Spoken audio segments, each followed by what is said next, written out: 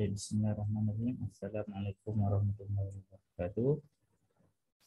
Hmm, di sini kita nak buat okay, uh, kita sambung lagi pada pagi uh, pada malam eh. Malam lagi ni. Kita buat soalan, soalan kaitan tentang voltage regulator yang biasa keluar dalam exam dan juga test.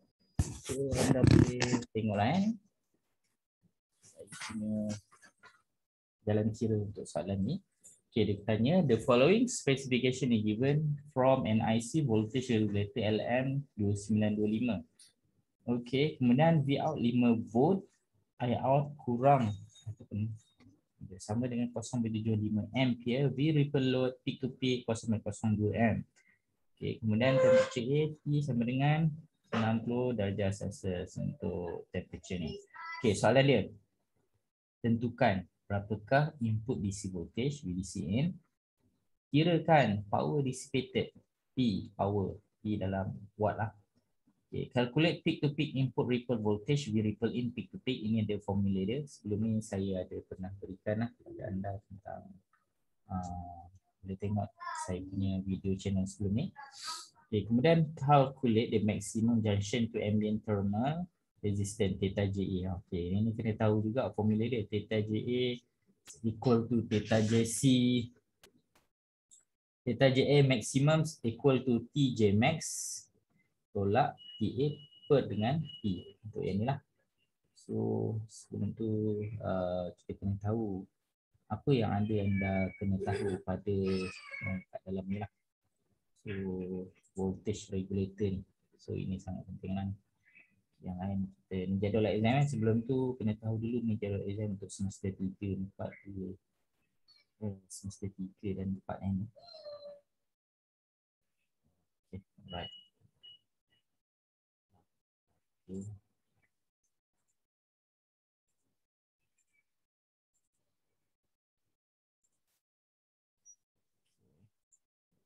pula ada surat pemasukan So ni baru lagi semester 3 dan 4 16 Oktober tarikh masuk kuarantin 17 hingga 30 Oktober. Untuk semester 1 dan semester 2 eh okey ni yang basic elektronik kelas ICT 2A ni anda semester 2. So 20 November anda akan masuk eh dan semester dan so anda akan kuarantin dan anda akan uh, diberikan tarikh amal ini. Tapi dalam sebelum 20 November ni ada soalan final kan anda kena jawab final dulu. Okay, sebelum 16 Oktober ni pun ada final dulu. Anda jawab soalan final dulu kat rumah. Datang ke college di sini untuk membuat amal. Okay, itu saja sebarang maklumat nanti sila maklumkan lah eh. So kita sambung balik kepada basic elektronik tadi. Okay, 2925 yang ni lah kita nak tengok ni semua ni sampai ke hujung ni. Anda kena tahulah. So apa yang ada kat atas ni anda kena tahu adalah 0.75 ni adalah output current. 0.75 itu seperti soalan yang ada dekat sini. 0.75 So LM 2925 ni 2925 yang ni. 2925 So tanpa buang masa saya teruskan. Macam cara kira dia eh. so, Sebelum tu ha, ni saya ni Okay ni V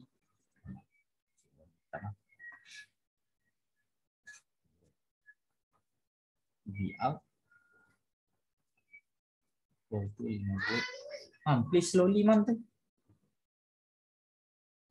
I out. 0.75 M. V ripple. Load. Peak.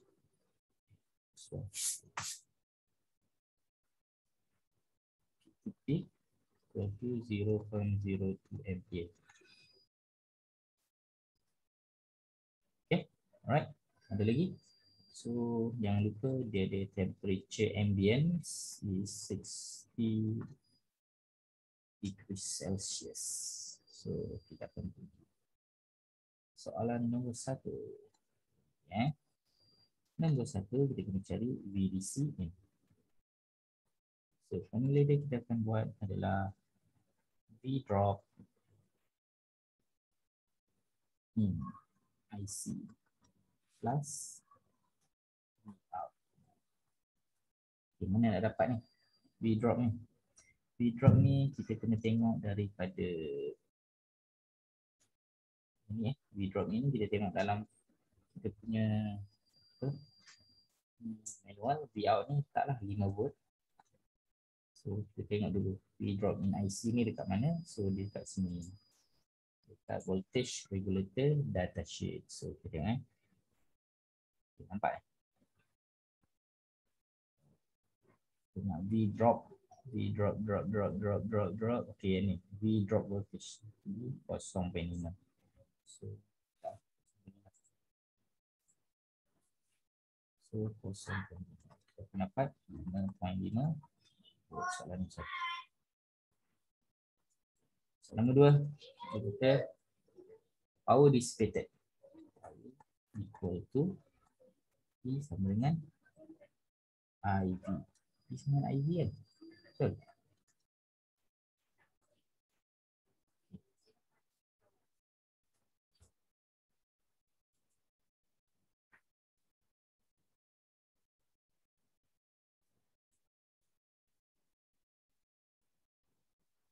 begini.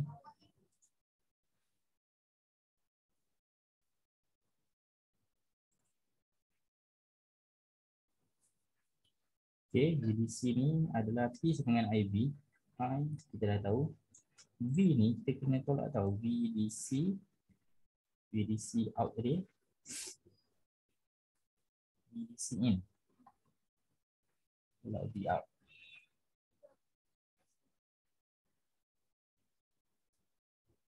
Salah salah. EDC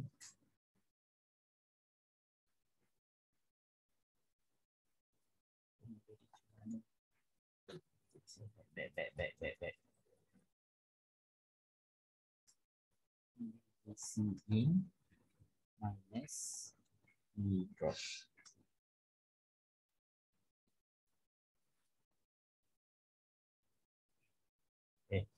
V out. Sorry, sorry. So kita akan dapat kosong jadi lima. Lima pula. So kita akan dapat jadi lima darab. Kosong lima. Okay. Kosong jadi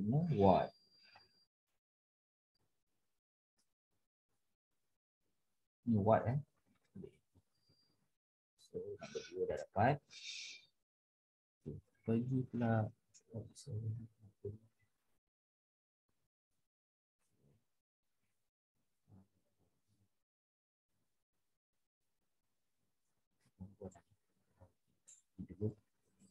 Okay, soalan nombor tiga. Okay, letak ke atas eh.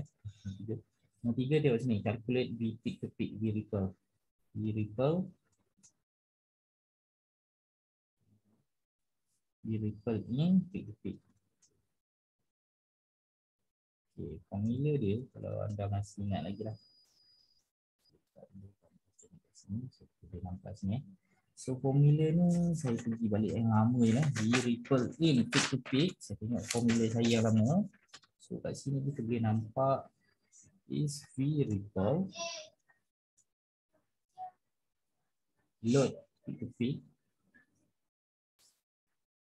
peak to peak over 10 kuasa negatif decibel minus 90 log V out okay, over 20. So bila anda buat di sini saya akan dapat nilai dia. So nilai dia kat sini adalah 0.02 sini eh we ripple load peak to peak ni ambil daripada sini. 0.02 ni. 0.02 ampere bahagi dengan 10 masa decibel okey decibel ni dapat daripada mana? Okey decibel ni dapat dari mana sini. Decibel ni okey kita kena pergi tengok manual data sheet. Kita data sheet 25 lepas tu tengok decibel mana decibel decibel decibel decibel Dapat dah saya ni. Okey ni, sorry ni. Ni 66. So masukkan nilai dia 66. 66 pula 20 log V out tadi ada berapa? Okay, bahagi dengan 20. Bila kita buat, kita akan dapat nilai dia dalam 7.8. Guys, settlekan yang ni dulu tau. Eh, Ini kena settlekan dulu belah bawah ni. Hmm. Buat kiraan yang dalam ni dulu. Satu-satu. Siap ini, lepas tu kuasakan sebelum kuasa dia. Itu kuasakan kuasa dua bahagi dengan bawah ni. Baru dapat 9. Ha, one by one eh buat eh. Sampai salah jawapannya. Okay, soalan nombor empat. Empat pergi tadi soalan dia. Nombor empat adalah calculate maximum junction. Okay, ni theta. Theta JA maximum. JA junction ambient maximum. Okay, ni ada formula dia. Formula dia adalah TJ max TJ maximum tolak TA bahagi dengan T. Jangan risau, semua formula ni sebenarnya akan diberikan dalam soalan. Sampai sini memang akan ada. So, anda dapat kat mana? T max TJ. Okay, tengok dekat ni eh. TJ max ni, kita kena tengok dekat data sheet manual. Okay guys. Dia kata dekat bahagian bawah ni tau. Ingat tau. Ni, maximum TJ. Ingat. Dia tulis kat sini. Maximum TJ. Ingat eh. Ni tau. Maximum TJ ni adalah 150 darjah Celsius kecuali bagi Kecuali 125 darjah Celsius untuk LM309, 320, 323, 349. Kita punya LM 2925. So tak ada kena mengena dengan tidak ada kena mengena dengan 309. So kita ambil 150 darjah Celsius kat sini. So kita pergi balik. Ini adalah 150 tolak. Mana nak dapat TA ni? Ni soalan dalam soalan telah diberikannya. P 60 dari persen 60 bahagi dengan P. P kita dapat apa tadi? P 0.375. So equal tu kita akan dapat nilai dia 240. Ingat eh formula dia Celsius over watt. Jawapan. So last soalan nombor lima. Soalan nombor lima dia kata justified heat, heat sink diperlukan ke tak? Heat sink diperlukan tak? So kita kena tengok formula ni. Theta JA.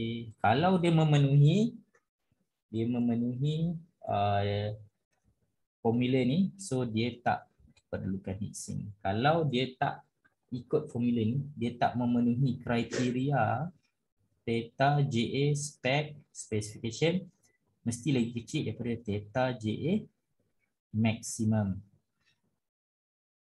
Okey, mana nak dapat theta JA spec? Nilai dia adalah 50. Okey, kita tengok kat mana? Tengok dekat sini guys, theta JA spec.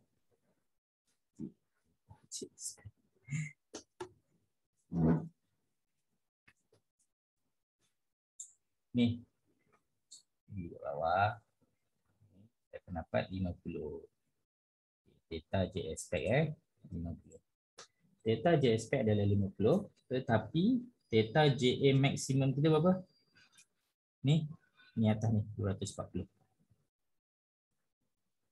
so adakah ini memenuhi syarat? 240 adalah lebih besar daripada 50 so memenuhi syarat. So heatsink tak diperlukan. Sing.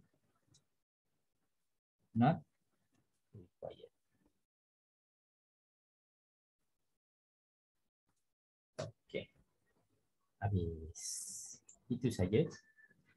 Okay. Harap membantu anda semua. Terima kasih. Soalan dia. Jawapan dia.